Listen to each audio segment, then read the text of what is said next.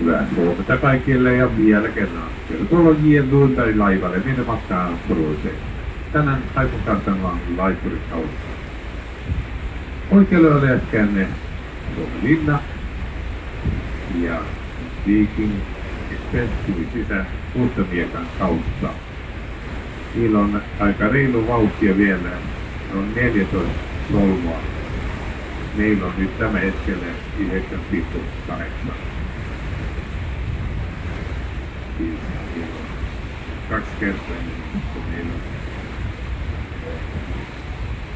Tämä laiva on rakennettu täällä Helsingissä vuonna 12. Ja se liikkuu silloin Helsingistä ja Jorkalan asti ja kaikenlaisia laitoja siellä välissä.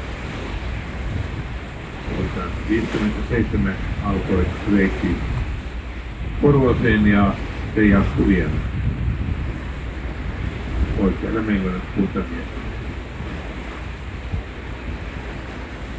Ja tuolla edessä vasemmalle sivulle on Santaani.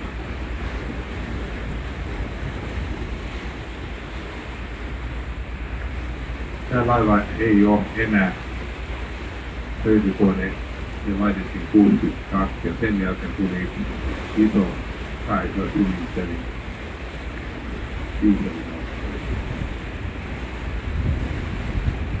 Tänä vuonna on nyt mannimoottori, se on kaksalainen ja neljästä hevosta. 400 hevosta.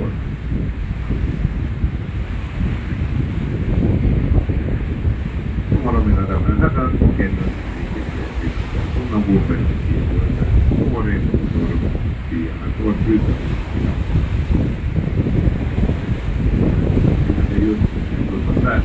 Hyvä siitä.